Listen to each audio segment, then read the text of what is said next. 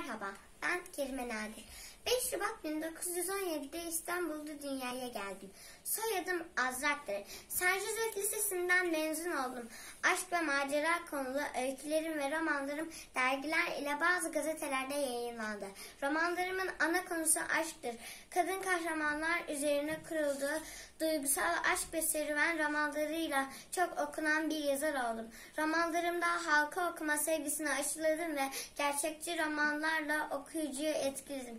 Eserlerimden bazıları Seven ne yapmaz, hıçkırık, son beste, samanyolu, sonbahar, boş yuva, şahane kadın dert bende, zambaklar açarken romanlarım, romanlarım senaryolaştırıp filme alınmıştır.